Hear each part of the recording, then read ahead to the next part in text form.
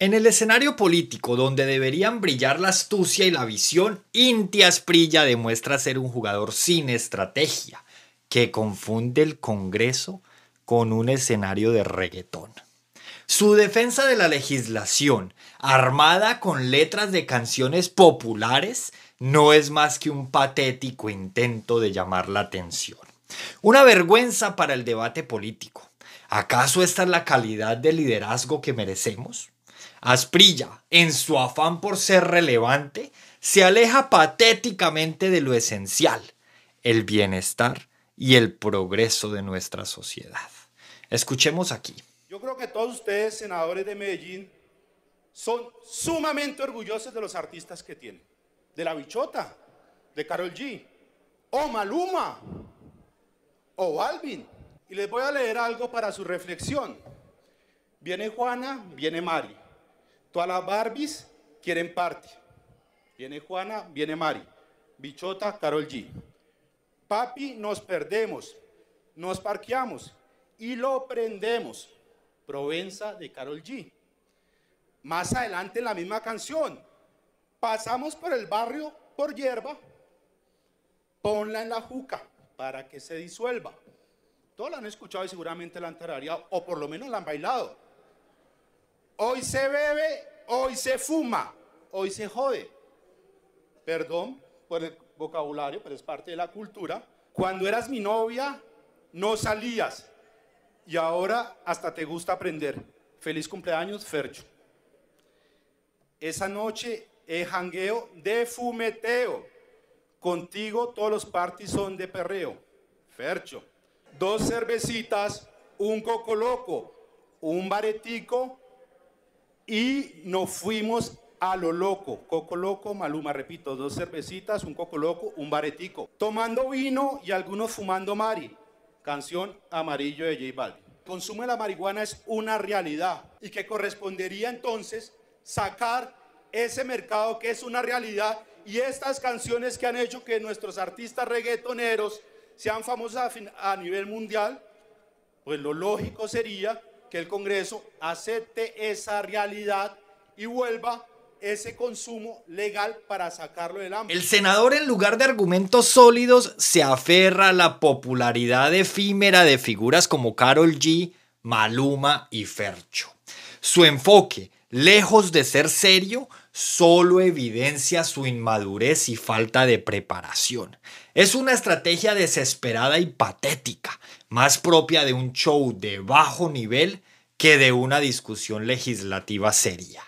Ante esta farsa, la respuesta del senador Lemos de Medellín y del partido de la U no se hizo esperar. Escúchenlo ustedes. Estamos aquí en la revista TV y novelas o viendo el programa Lo sé todo. Ustedes están queriendo plantearle al país un falso dilema entre prohibicionismo y legalización.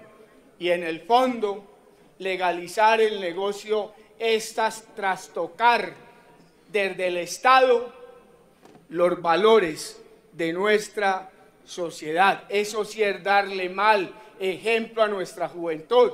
Que este gobierno legalice el negocio del cannabis. Y finalizo diciendo que no estamos favoreciendo la mafia, que negar este proyecto de ley o de acto legislativo no beneficia a los narcotraficantes, no puede plantear el Estado la derrota que ha sufrido, señor ministro, para combatir el negocio del narcotráfico pretendiendo legalizar ese negocio. Pero él, aunque simple, resuena como sensatez frente a la frivolidad de Asprilla. Y luego de él, también la reacción de la senadora Paola Holguín no se hizo esperar. Escuchen. Esto no es para venir a recitar letras de canciones. Sí, yo soy de Medellín, yo soy orgullosamente paisa orgullosa de los artistas de mi ciudad, como también siento vergüenza y dolor por los narcotraficantes que ha producido mi ciudad, por los Pablos Escobares, por las oficinas y por todos estos bandidos. Los magíster en drogodependencia, como Miguel Betín lo han dicho claramente, la marihuana es una sustancia psicoactiva que causa dependencia física y psíquica, que produce cambios estructurales y funcionales en el cerebro, que repercuten en la conducta, en el estilo de vida de las personas, en la salud mental, que tiene gravísimas consecuencias.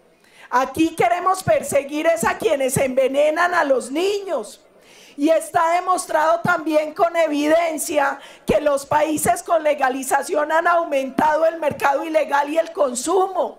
Aquí no vengan a engañar a los colombianos diciendo que el problema del narcotráfico se soluciona con la legalización, porque no es cierto. No ha sucedido en ninguno de los países que los ha legalizado. Ella exige seriedad pone en evidencia la superficialidad y el ridículo de la postura de Asprilla, recordándonos la importancia de la rigurosidad y el conocimiento en política.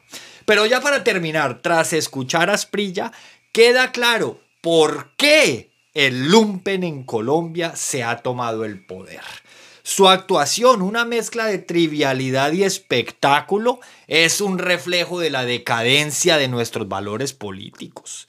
Estos líderes, con su incompetencia y falta de seriedad, ponen en riesgo el futuro de nuestra nación y nos hacen cuestionar su capacidad para enfrentar los verdaderos desafíos de nuestra sociedad.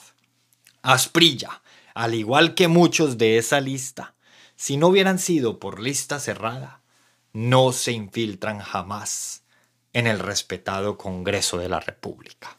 Sigan para más.